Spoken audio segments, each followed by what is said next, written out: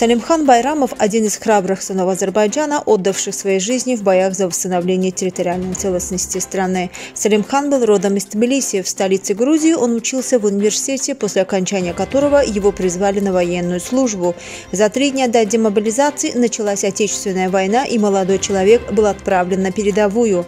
Салимхан погиб в боях за освобождение Зангелана. Он был помолвнен. Мы готовились к свадьбе, но пришло известие о его гибели, рассказывает дед Шахида Фариз Рустамов. Родные говорят, что боец предчувствовал свою гибель. В последнем разговоре с ними он попросил позаботиться о матери, сказав, что идет на задание, с которого может не вернуться. Несмотря на боль утраты, семья счастлива, что Карабах освобожден от оккупации, и в этом есть заслуга Салимхана. Вечная память сынам Азербайджана, низкий им поклон.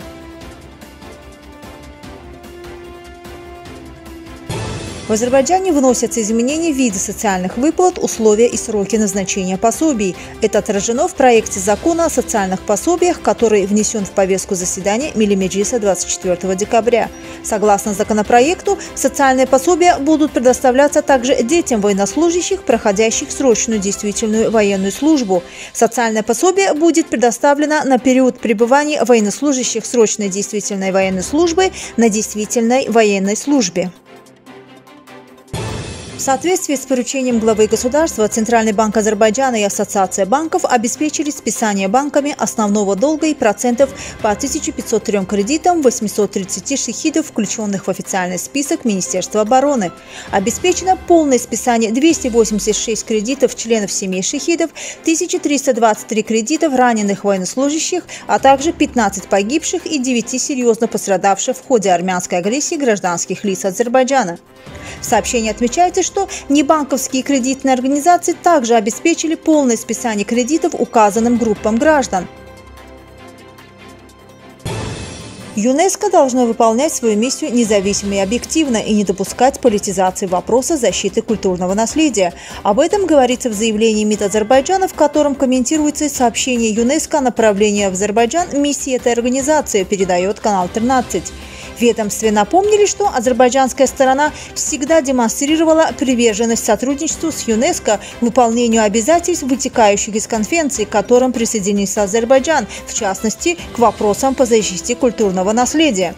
Заявление ЮНЕСКО не соответствует духу сотрудничества между Азербайджаном и этой организацией. Наша страна на протяжении многих лет внесла серьезный вклад в деятельность организации по восстановлению и охране культурного наследия как в Азербайджане, так и в глобальном масштабе.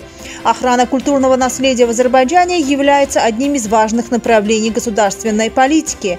Однако, с сожалением отмечаем, что наше обращение в ЮНЕСКО для расследования таких военных преступлений, как продолжавшаяся 30 лет военная агрессия Армении против Азербайджана и оккупация наших земель, уничтожение, присвоение, изменение сущности нашего культурного наследия, незаконный вывоз культурных ценностей из нашей страны игнорировались, и секретариат ЮНЕСКО не проявил решительности в этом вопросе, указывается в сообщении.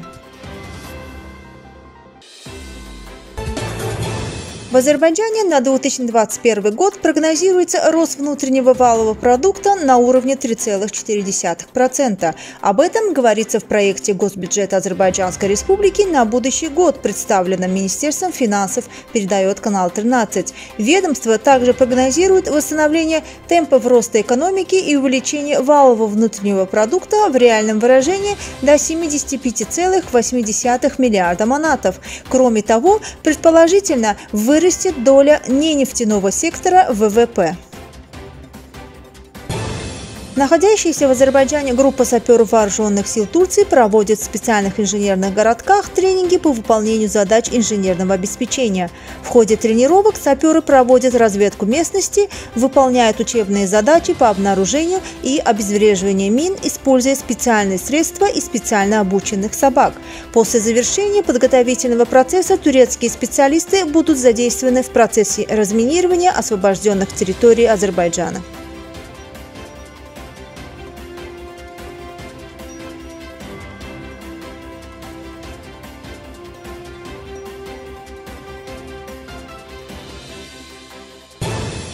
Строительство дороги от грузинского города Рустави до пограничного пункта Красный мост на границе с Азербайджаном отложено. Об этом заявила исполняющая обязанности министра регионального развития и инфраструктуры Грузии Майя Цкитишвили. По ее словам, причиной этого стала нехватка финансовых ресурсов, вызванная пандемией коронавируса. Цкитишвили полагает, что некоторые проекты неизбежно будут отложены. Участки Рустави Красный мост и Рустави Садахлы также в их числе. Мы не сможем запустить их до 2023 года, хотя мы готовы к реализации проектов, финансовые и фискальные рамки этого не позволяют. Отметим, что в феврале прошлого года Европейский инвестиционный банк выделил Грузии кредит в размере 250 миллионов евро в связи со строительством автомагистралей Рустави Красный мост и Рустави Садахлы. Строительные работы планировались завершить к 2023 году. Создание железнодорожного сообщения через Нахчеван с другими территориями Азербайджана улучшит потенциал грузовых и пассажирских перевозок Ирана на Северный Кавказ и в Европу. Как передает канал 13, об этом сказал на мероприятии, посвященном вводу в эксплуатацию автомагистрали Тебриз-Сахан в провинции Восточный Азербайджан, министр дорог и градостроительства Ирана Мухаммед Эслами. По его словам, эта железнодорожная линия имеет большое значение для Ирана. Министр также отметил, что в данном контексте между Ираном, Азербайджаном и Россией достигнута договоренность.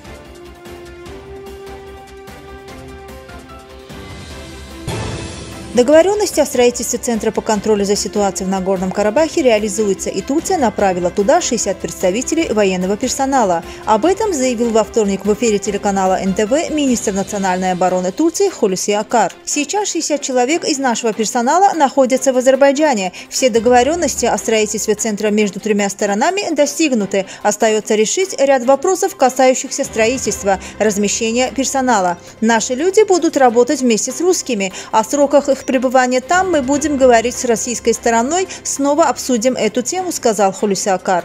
По словам Акара, руководить работами будут совместно турецкие и российские генералы. Он пояснил, что непосредственно в контроле за поддержанием перемирия в Нагорном Карабахе вместе с российскими будут заняты от 30 до 60 представителей вооруженных сил Турции.